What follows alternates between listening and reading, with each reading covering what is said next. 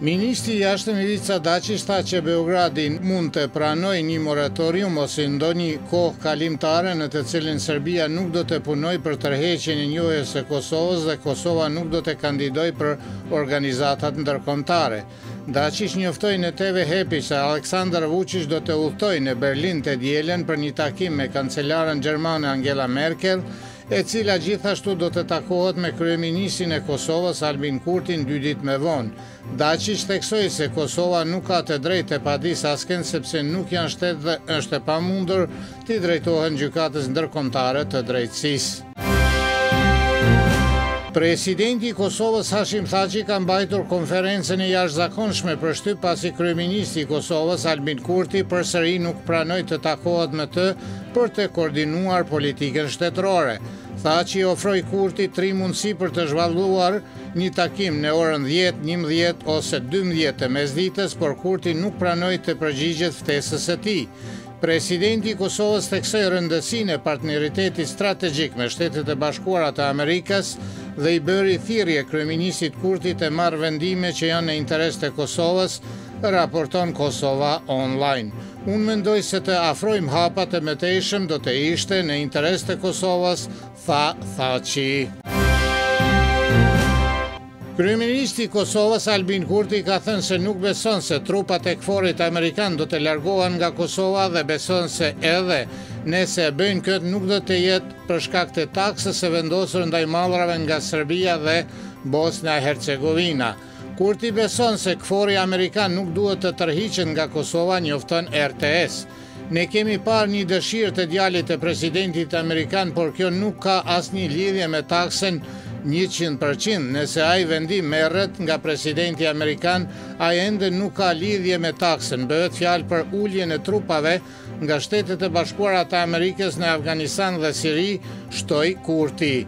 Kurti dje në një tubim parazgjedhor të partisë së tij në Podujevë për kryetar të komunës, Shprehu besimin se Shtetet e Bashkuara duhet të qëndrojnë në të gjitha format në shtetin e Kosovës, me ambasadën e saj, ekonominë, kulturën dhe mbrojtjen. Kryesia e Kuvendit të Kosovës ka caktuar për sot seancën e jashtëzakonshme në tre pasdite me kërkesën e Partisë Demokratike të Kosovës, e cila do të diskutojë marrëdhëniet midis Uashingtonit dhe Prishtinës, raporton Kosova Online. Memli Krasniqi i Partisë Demokratike të Kosovës tha se seanca u kërkua për shkak të deklaratave të fundit të zyrtarëve amerikanë në lidhje me tërheqjen e trupave. Ne jemi shumë të shqetësuar për deklaratat e bëra nga zyrtarët amerikanë si opozitë ne duhet të veprojmë Është fatkeqësi nëse trupat amerikane tërhiqen, tha Krasniqi. Lideri i Aleancës për Ardhmërinë e Kosovës, Ramush Haradinaj, ftoi presidentët e të gjitha partive politike në Kuvendin e Kosovës që të takohen nesër për të diskutuar taksat për mallrat nga Serbia dhe bashkëpunimin me Shtetet e Bashkuara dhe Bashkimin Europian. Ardhjen e këshilltarëve të presidentit francez Emmanuel Macron dhe kancelares gjermane Angela Merkel në Beograd dhe Prishtinë, ish ambasadori i Serbisë në Gjermani, Ivo Viskoviq, e sheh si një sinjal të qartë se Berlini po përgatitet seriozisht për njoftimin e takimit të kancelares Angela Merkel me presidentin Aleksandar Vuçiq dhe madje edhe me kryeministrin e Kosovës Albin Kurtin. Qëllimi i Merkelit është të sigurohet personalisht se cilat janë pozicionet përfundimtare të dy palëve, i tha Viskoviq për Tanjugun duke shtuar se në bisedën me Vuçiqin Merkel do të përpiqet të mbrojë qëndrimin gjerman që çdo përkufizim ose shkëmbim i territoreve duhet të shmanget në zgjidhjen e problemit të Kosovës.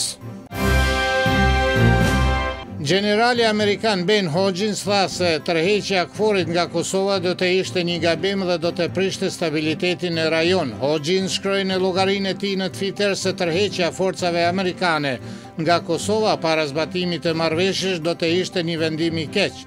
Gjenerali amerikan iu përgjigj një deklarate të djalit të presidentit amerikan, Donald Trump, i cili shkruajti në Twitter dje se aktualisht janë 650 trupa amerikane në Kosovë dhe se është koha që ata të kthehen në shtëpi dhe mbështetën idenë e senatorit amerikan David Perdu që Shtetet e Bashkuara të Amerikës duhet të rishqyrtojnë praninë në Kosovë. Gjeneral lejtnant Hodgins, i cili është në pension, një kohë ka qenë komandant i forcave amerikane në Europë.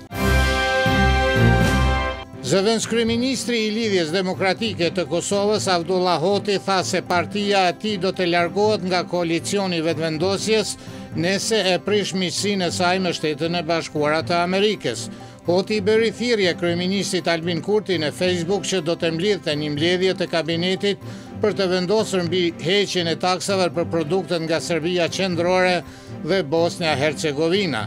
Qeveria duhet të takohet për të hequr taksën, ne nuk mund të mbetemi peng i një vendimi që ishte i nevojshëm Më parë, por tani është i dëmshëm për Kosovën, një miqësi e qëndrueshme me Shtetet e Bashkuara të Amerikës nuk mund të vihet në dyshim, ne garantojmë atë miqësi, ka shkruar Hoti në Facebook. Moti sot do të jetë pjesërisht i vrenjtur, por pa të reshur dhe pak më i ngrohtë. Në verilindje është e mundshme të ketë riga shiu. Temperatura më e ulët e ditës do të jetë nga zero deri në gjashtë, kurse më e larta nga dymbëdhjetë deri në nëntëmbëdhjetë gradë Celsius.